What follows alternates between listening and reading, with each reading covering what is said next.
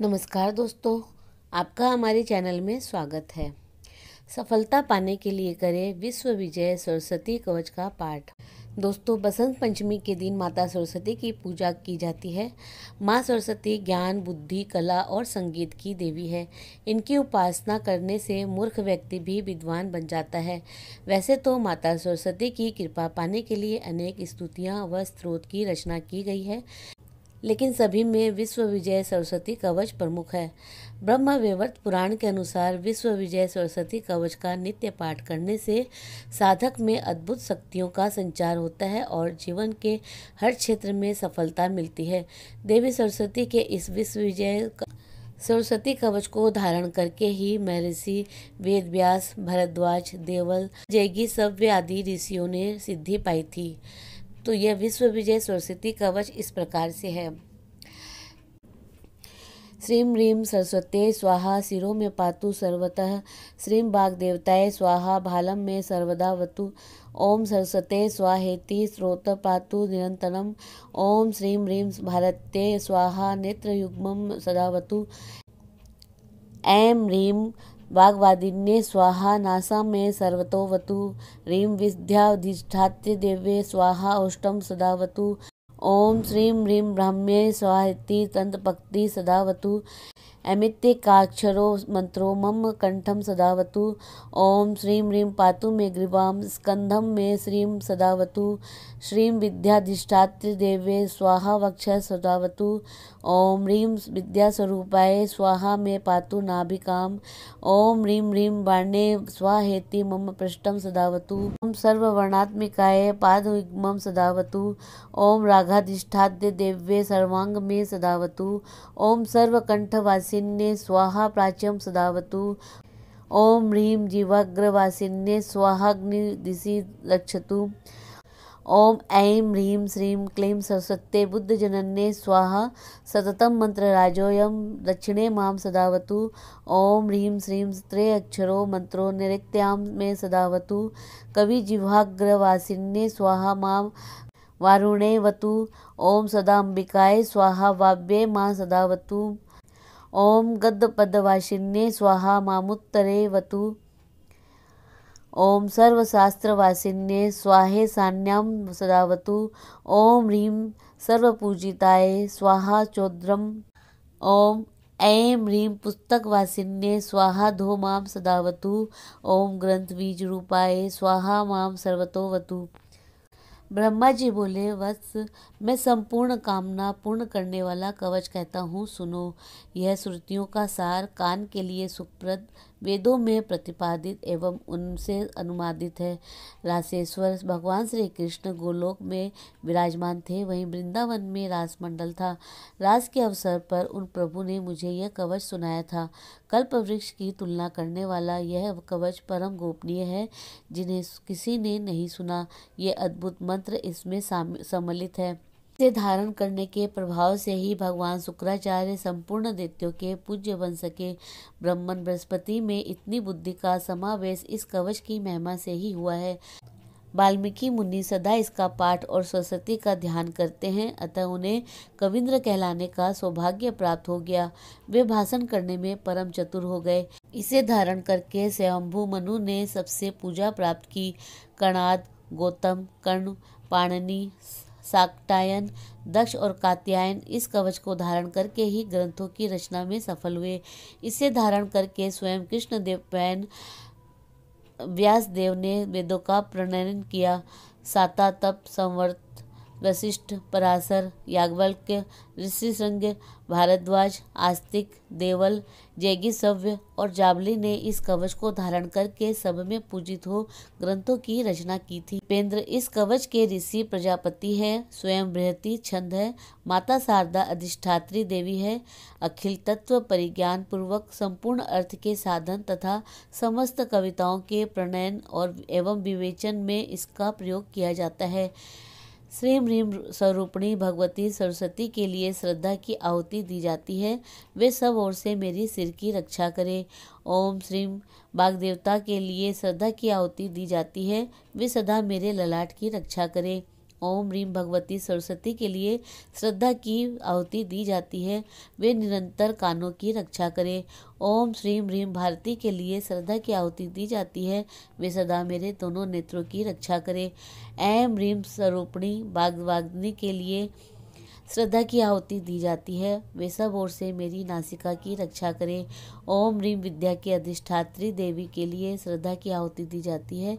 वे होठ की रक्षा करें। ओम श्रीम रीम भगवती ब्राह्मी के लिए श्रद्धा की आहुति दी जाती है। वे दंत पंक्ति की रक, निरंतर रक्षा करें। एम यह देवी सरस्वती का एकाक्षर मंत्र मेरे कंठ की सदा रक्षा करे। ओम श्रीम रीम मेरे गले की तथा श्रीम मेरे कंधे की सदा रक्षा करें। ओम श्रीम विद्या की अधिष्ठात्री देवी के लिए श्रद्धा की आहुति दी जाती है। वे सदा वक्ष स्थल की रक्षा करे। ओम रीम विद्या स्वरूपा देवी के लिए श्रद्धा की आहुति दी जाती है। वे मेरी नाभि की रक्षा करें। ओम रीम क्लीम स्वरूपणी देवी वाणी के लिए श्रद्धा की आहुति दी जाती है। वे सदा मेरे हाथों की रक्षा करें। ओम स्वरूपणी भगवती सर्ववर्णात्मिका के लिए श्रद्धा की आहुति दी जाती है। वे दोनों मेरे पैरों की को सुरक्षित रखें। ओम वाग्य की अधिष्ठात्री देवी के लिए श्रद्धा की आहुति दी जाती है। वे मेरे सर्वस्व की रक्षा करें। सबके कंठ में निवास करने वाली ओम स्वरूपा देवी के लिए श्रद्धा की आहुति दी जाती है। वे पूर्व दिशा में सदा मेरी रक्षा करें। जीव के अग्रभाग पर विराजने वाली ओम रीम स्वरूपणी देवी के लिए श्रद्धा की आहुति दी जाती है। वे अग्निकोण में रक्षा करे। ओम ऐम ह्रीम श्रीम क्लीम सरस्वती बुद्ध जनन्य स्वाहा। इसको मंत्र राज कहते हैं। यह इसी रूप में सदा विराजमान रहता है। यह निरंतर मेरे दक्षिण भाग की रक्षा करे। ऐम ह्रीम श्रीम यह त्रिअक्षर मंत्र नैरित्र कोण में सदा मेरी रक्षा करे। कवि की जुहा के अग्रभाग पर रहने वाली ओम स्वरूपणी देवी के लिए श्रद्धा की आहुति दी जाती है। वे वाव्यव्य कोण में सदा मेरी रक्षा करे। गद पद में निवास करने वाली ओम एम श्रीमयी देवी के लिए श्रद्धा की आहुति दी जाती है, वे उत्तर दिशा में मेरी रक्षा करे। संपूर्ण शास्त्रों में विराजने एम एम स्वरूपणी देवी के लिए श्रद्धा की आहुति दी जाती है, वे ईशान कोण में सदा मेरी रक्षा करें। ओम रीम स्वरूपणी सर्व पूजिता देवी के लिए श्रद्धा की आहुति दी जाती है, वे ऊपर से मेरी रक्षा करे। पुस्तक में निवास करने वाली एम. रीम स्वरूपणी देवी के लिए श्रद्धा की आहुति दी जाती है। वे मेरे निम्न भाग की रक्षा करे। ओम स्वरूपणी ग्रंथ बीज स्वरूपा देवी के लिए श्रद्धा की आहुति दी जाती है। वे सब ओर से मेरी रक्षा करे। विप्र, ये सरस्वती कवच मैंने तुम्हें सुना दिया। असंख्य ब्रह्म मंत्रों का यह मूर्तिमान विग्रह है। ब्रह्म स्वरूप इस कवच को विश्व जय कहते हैं। प्राचीन समय की बात है। गंधमादन पर्वत पर पिता धर्मदेव के मुख से मुझे इसे सुनने का सुअवसर प्राप्त हुआ था। तुम मेरे परम प्रिय हो, अतएव मैं तुमसे मैंने कहा है। तुम तुम्हें अन्य किसी के सामने इसकी चर्चा नहीं करनी चाहिए। विद्वान पुरुष को चाहिए कि वस्त्र, चंदन और अलंकार आदि सामानों से विधि पूर्वक गुरु की पूजा करके दंड की भांति ज़मीन पर पड़कर उन्हें प्रणाम करे और उसके बाद उनसे इस कवच को अध्ययन करके इसे हृदय में धारण करे। पाँच लाख जप करने के पश्चात यह कवच सिद्ध हो जाता है। इस कवच के सिद्ध हो जाने पर पुरुष को बृहस्पति के समान पूर्ण योग्यता प्राप्त हो सकती है। इस कवच के प्रसाद से पुरुष भाषण करने में परम चतुर कवियों का सम्राट और तेलोक के विजयी हो सकता है। वह सबको जीतने में समर्थ होता है। मुने, यह कवच कर्ण शाखा के अंतर्गत है। तो दोस्तों, इसी प्रकार और भी रोचक जानकारी के लिए आप हमारे चैनल को लाइक, शेयर व सब्सक्राइब करें। हमारे चैनल में विज़िट करने के लिए धन्यवाद।